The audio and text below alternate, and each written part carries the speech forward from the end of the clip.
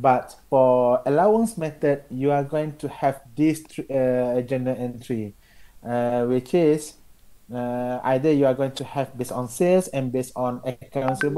You always need to have this journal, uh, entries, which is uh, debit, bad debt, also and credit allowance. Allowance for doubtful debts. Oh, sorry. I'm so sorry.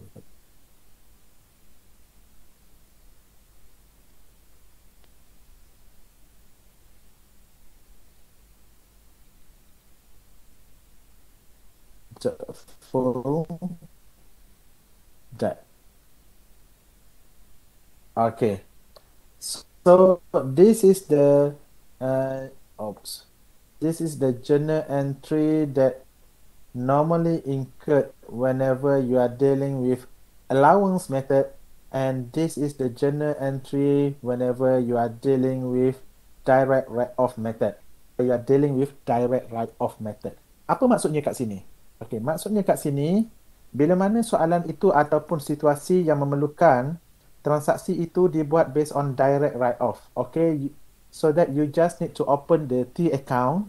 Uh, uh, uh, T account. This this is the journal entry process. Okay you, you need to open the journal uh, T account and you need a bad debt account. Oh sorry. And you need to open another uh, account which is a account uh, receivable.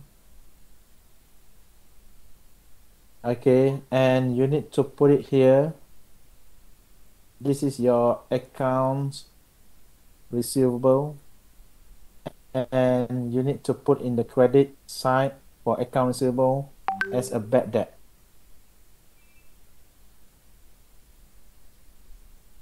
Okay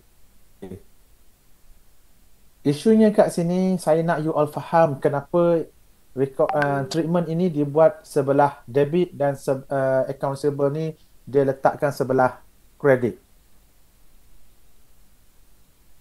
Kalau ada siapa-siapa boleh jawab tolong tolong response and kalau you oh, oh, boleh jawab yang ni maknanya you dah faham almost the whole chapter untuk side for account receivable and account receivable I letak sebelah and put it as a bad debt as a contra for this account.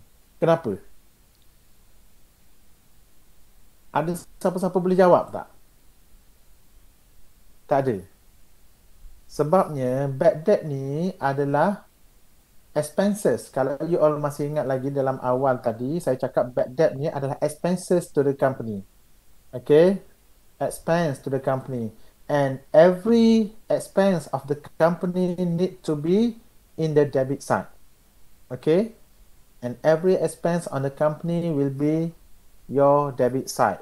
Since the debit side will be expense of the company and the amount of your asset amount of your asset. Account receivable ni asset kan?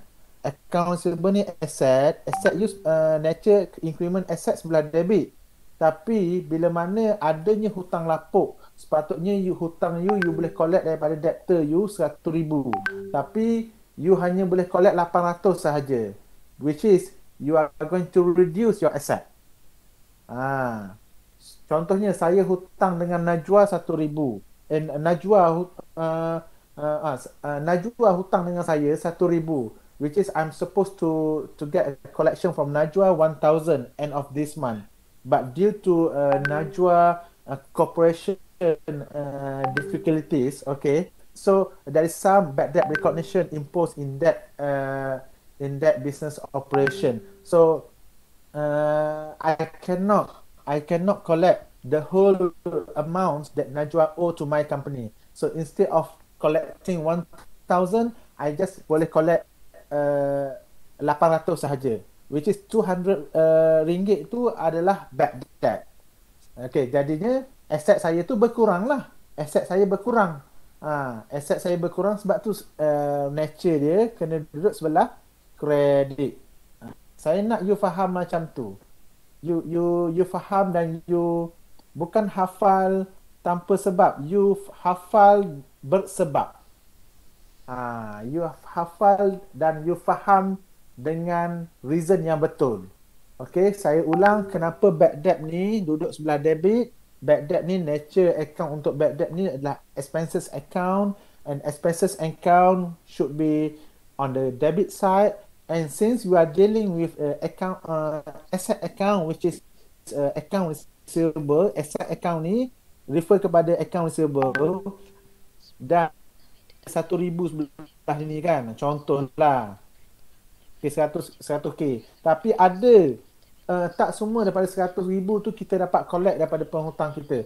Kita kena estimate some portion of bad debt. So we are going to reduce our asset by estimate uh, some bad debts. Okay? Uh, itu adalah konsep bad debt yang you kena faham. Dan bila mana bad debt ni occur, you, you kena apa you kena cl- uh, close the account and you need to get the all the uh, you need to get all the uh, uh, new figures for closing balance for account receivable in order to be recorded in the financial position. Okay. Uh, so kat sini lah.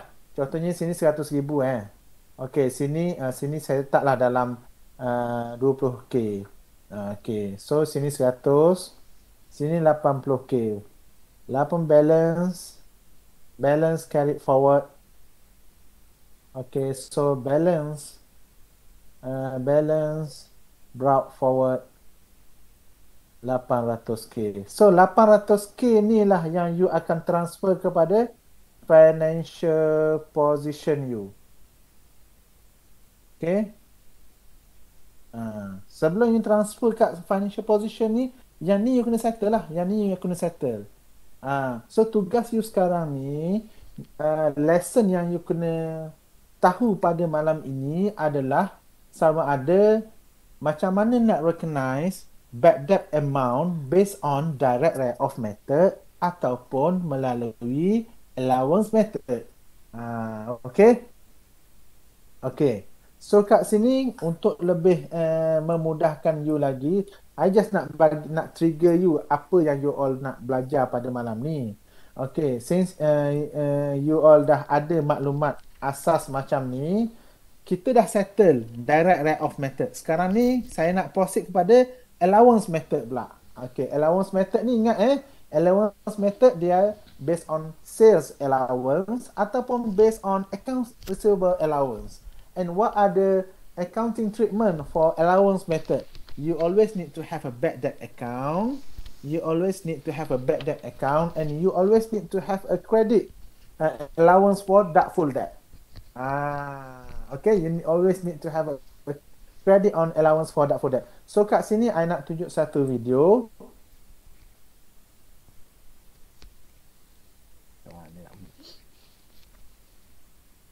Okay. Dia ni kejap eh.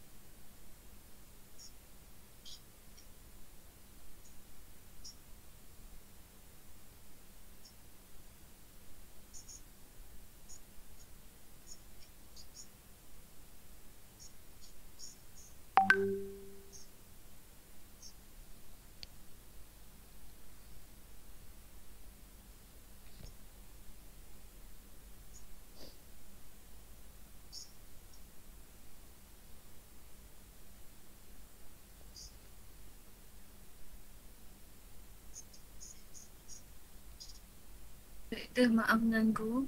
Uh, kita orang tak boleh dengar suara video. Eh, tak boleh dengar? Ah, tak dengar. Uh, macam mana I nak share supaya orang dengar? Eh, kejap, kejap, kejap. Uh, uh, tak boleh dengar eh? Tak boleh. Tak, tak dengar. Tak dengar langsung. Sekejap eh. Uh, eh sebelum ni masa I share video you all dengar kan? Sebelum ni masa I share video video sebelum ni you all dengar kan? Hari tu tak. Oh, Hari tu tak dengar. Tak dengar. Doktor. Hari tu tak dengar juga doktor. Lah, kenapa you all tak cakap? Dah cakap. Oh, ni ni. Okay, I dah tahu dah. Ah, so, so, okay, okay, okay. Sorry, sorry, sorry. Automatically optimize. Okay, this one.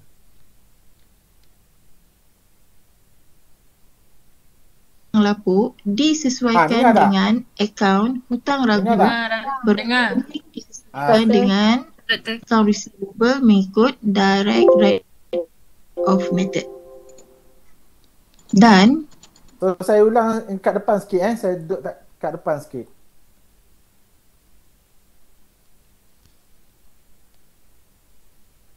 Account receivable basis and secondly is percentage on sales basis.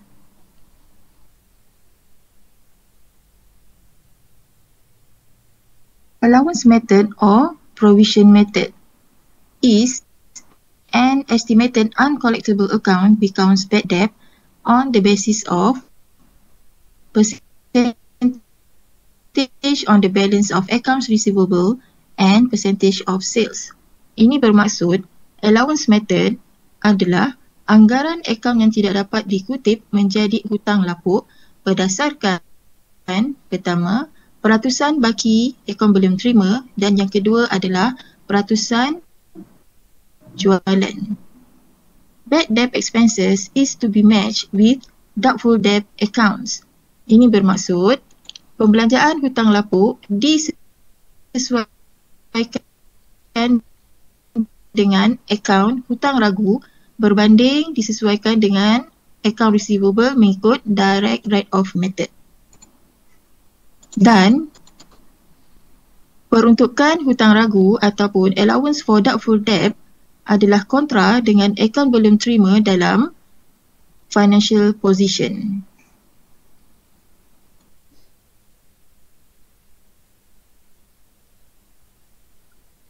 Recording bad debt expenses. Bagaimanakah kita hendak merekod bad debt expenses dalam allowance method? Okey, kita bandingkan dengan kaedah direct rate of method terlebih dahulu yang telah kita pelajari dalam video sebelum ini. Mengikut kaedah direct rate of method, kita debitkan bad debt expenses dan kita kreditkan accounts receivable. Manakala mengikut kaedah allowance method, kita debitkan bad debt expenses dan kita kreditkan allowance for doubtful debt.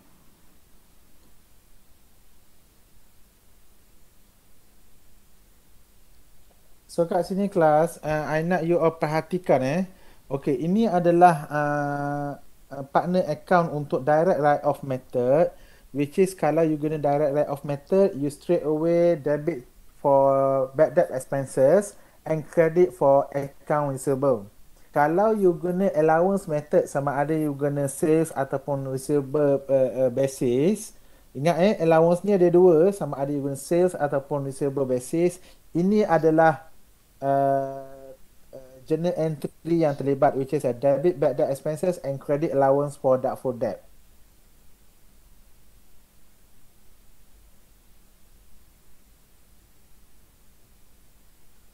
Pertama sekali, kita pergi kepada kaedah pertama dalam allowance method iaitu percentage on the balance of accounts receivable. Saya hendak pelajar mengingati formula ini iaitu percentage of allowance darab dengan closing balance of accounts receivable sama dengan closing balance of allowance for doubtful debt. Ini adalah step yang pertama. Okay. Dia cakap ini adalah basic uh, formula yang you all kena fah uh, hafal bila mana you are dealing dengan allowance method untuk cari bad debt amount. You all kena tahu berapa percentage allowance yang diberi dalam soalan dan you all kena daratkan dengan closing balance of account receivable untuk you dapatkan closing balance of allowance for doubtful debt.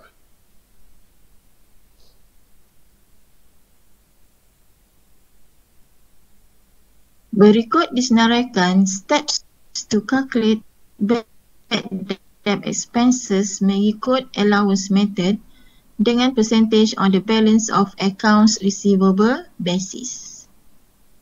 First step is calculate closing balance of allowance for doubtful debt. Second step is, draw T accounts for allowance for doubtful debt. Third step is fill in all the particulars or transaction in the T accounts. For example, balance brought forward and balance carry forward. And the fourth step is calculate the missing figure that is the bad debt expenses.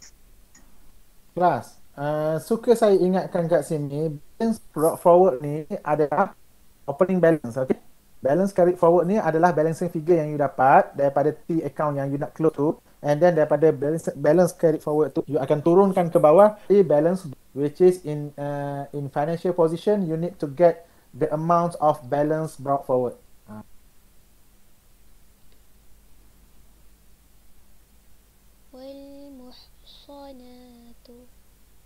Example 1, percentage on the balance of, of, of accounts receivable method. Balance brought forward for allowance for doubtful debt is 500 Balance carry forward for accounts receivable is 110,000 and estimated uncollectible debt is 1% of accounts receivable. So first of all, you have to calculate percentage of allowance times closing balance of accounts receivable equals to closing balance allowance for doubtful debt. The calculation is 1% that is the percentage of allowance times 110,000 equals to 1,100. 1,100 is closing balance allowance for doubtful debt. And this is the first step.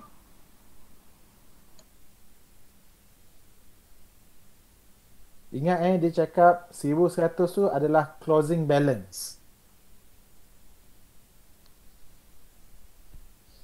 So, adjustment is needed to get the amount of bad debt expenses.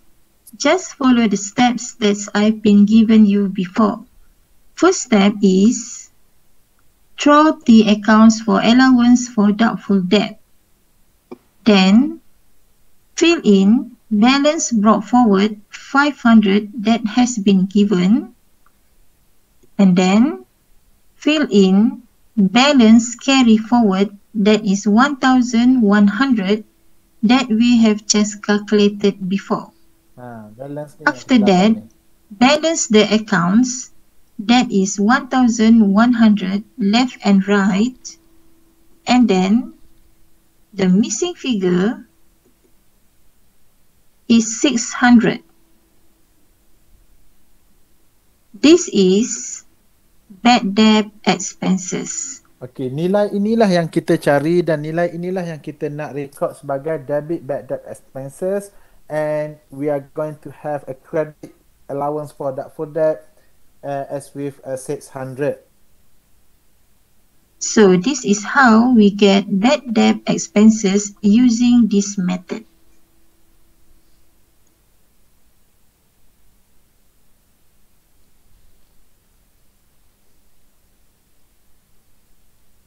To record bad debt expenses in journal entry.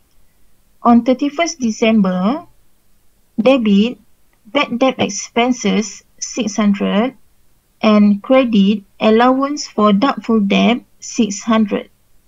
Narration to record bad debt expenses. Saya ada satu soalan pada you all semua. Okay, since kita ada bad debt expenses on debit side and credit allowance for doubtful debt, kenapa letak sini debit uh, credit side straight away for account receivable? Kenapa uh, kita tidak letak credit side sebagai account receivable? Sebab dia expense. Kan? Expense should be on debit side. Ah, Sekarang ni soalan sa- saya, debit side uh, 600 and credit side allowance for doubtful debt. Kenapa bukan credit side tu refer kepada account receivable tapi kita letak allowance for doubtful debt 600?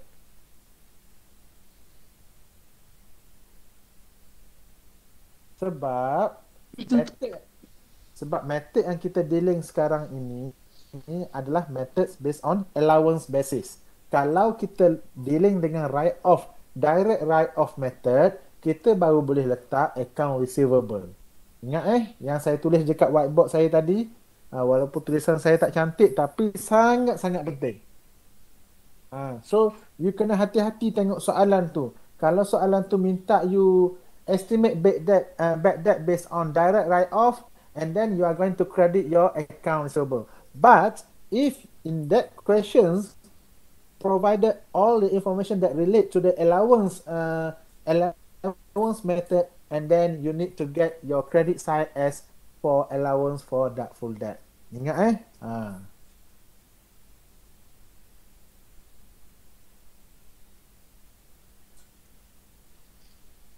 Now we look at example 2, percent ha ni eh, contoh kedua lah. Okey.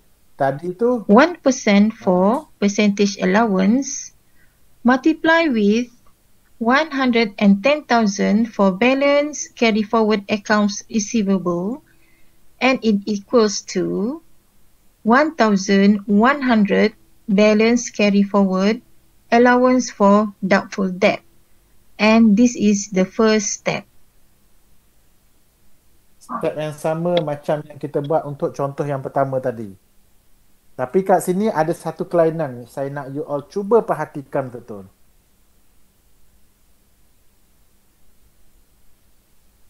Nampak sama tapi Next step is to draw the account for allowance for doubtful debt.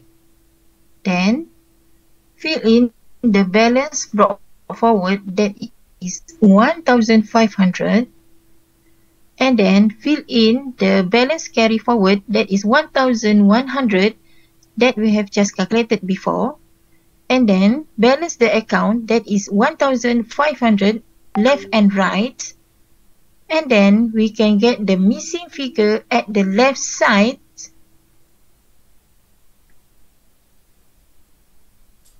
That is 400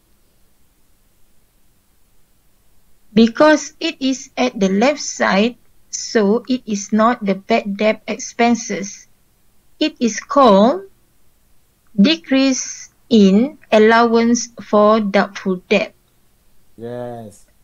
Whenever you are going to have a balancing figure on debit side for allowance for doubtful debt, means that you are going to have decrease in allowance for doubtful debt. It's no longer referring to bad debt uh, amounts. Okay, bad debt ni adalah bila mana you ada dapat uh, balancing figure sebelah kredit sahaja. Sebab bila you dapat sebelah kredit, bad debt tu nature dia dia lawan akan cre- uh, debit. So debit bad debt expenses. Okay? Uh, so apa uh, treatment untuk uh, uh, case bila mana you dapat uh, balancing figure macam ni?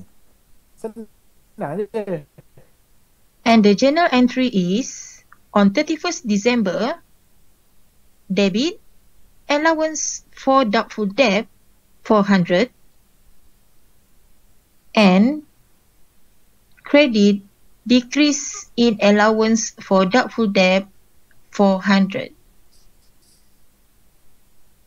Di sini pelajar akan nampak perbezaan dalam merekod journal.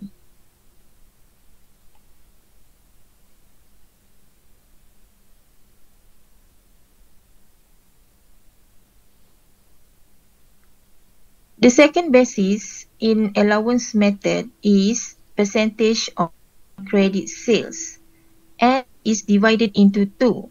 First is percentage on net credit sales basis dengan net credit sales.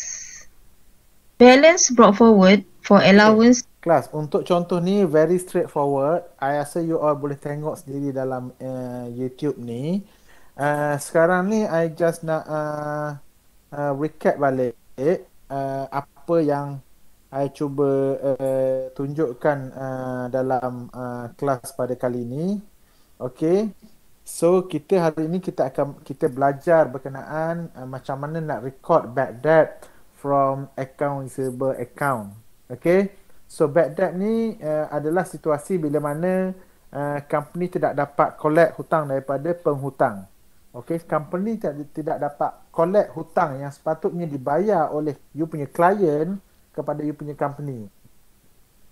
So suppose uh, you need to collect 1000 but end of the day you just able to collect 800 so 200 should be considered as a bad debt. That just a assumption. So in reality you need to estimate okay? In reality kalau you kerja sebagai accountant lepas ni you kena estimate berapa sebenarnya you hutang yang you tak boleh nak collect.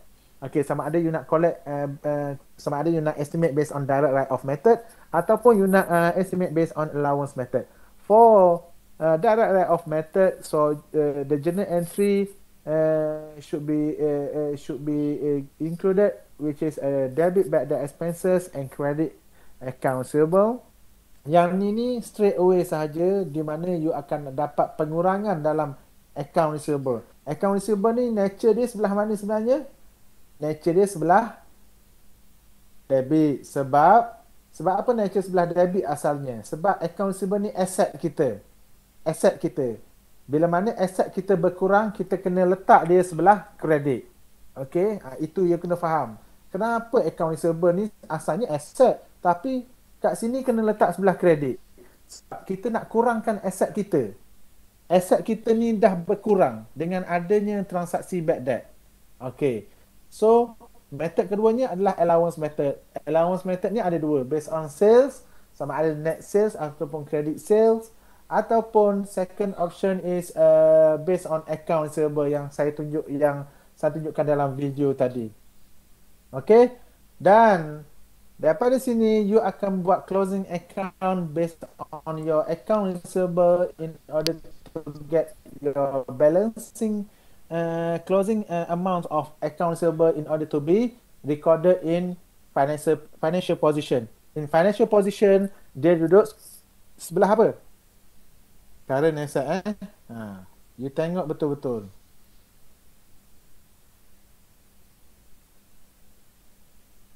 Okay ha. Okay. Dia duduk dekat kategori current asset. Yang ni ni you jangan silap dan you jangan lupa. Okay. So end of the day kita nak amount of account receivable. Untuk dapatkan amount yang terkini untuk account receivable ni kita kena lalui sama ada kita nak lalui direct write off method to estimate that ataupun kita nak lalui allowance method based on base uh, sales basis or accounting uh, account receivable basis. Okay? So uh, sebenarnya ini adalah uh, the whole chapter for account receivable. So saya cuba ringkaskan saya cuba uh, permudahkan maklumat-maklumat yang penting untuk you all faham Uh, macam mana nak record dan macam mana nak dealing dengan bad debt expenses. Okay? Bad debt always remember bad debt will be your expenses to your company. Okay? Whenever you are going to have expenses on your bad debt means that you are going to lose some part of your debtors collection. So that's why you are going to have on credit side for your account receivable. Account receivable ni nature dia ini hutang yang you all sepatutnya terima tapi disebabkan ada bad debt you hanya boleh record 800 ataupun 80 ribu sahaja dalam financial position. Semudah itu kelas. Okay? So, okay. So nanti you all boleh uh, refer dekat video yang saya uh, sharekan dalam uh, iklik tu. And untuk kelas pada minggu depan kita akan sambung lagi dengan fixed asset lah. Uh, fixed asset pun mudah juga. Uh, ni kita belajar current asset kan current asset and specifically on account receivable nanti next week kita akan belajar uh, uh, fixed asset and we are going to learn on how to deal with a depreciation and depreciation also so one part of your uh, company expenses and you also need to uh, estimate the allow uh, the amount of depreciation based on the provision uh, that you are going to make on the depreciation accounts Okay, asalnya saya nak gabungkan terus tapi saya rasa memadai untuk pada malam ini you all uh, renung-renungkan uh, dan cuba fahami, cuba dalami dan cuba praktis. Okay, cuba praktis uh, on yourself. Uh, uh, macam mana nak deal dengan account receivable and uh, bad debt uh, treatment either based on direct write-off method or allowance method. Okay?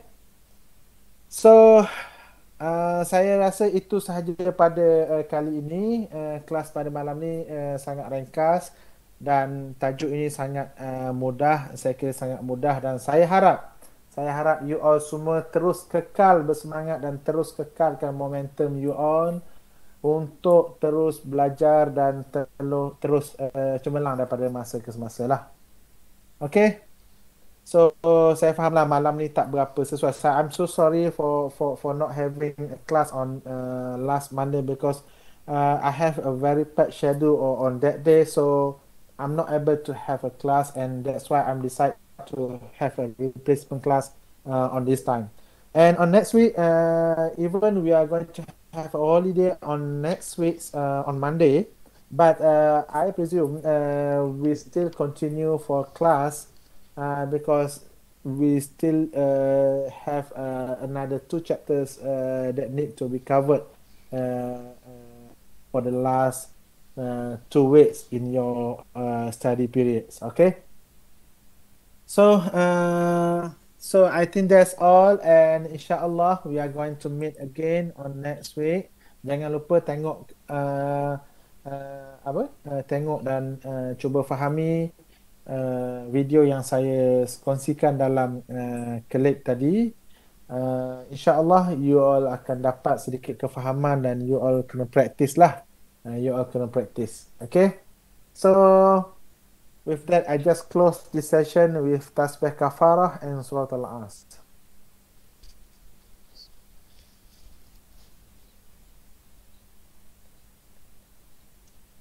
Okay, thank you semua. Thank you, Pak. Thank you, Doktor. Thank you, Doctor. Thank you, Doctor.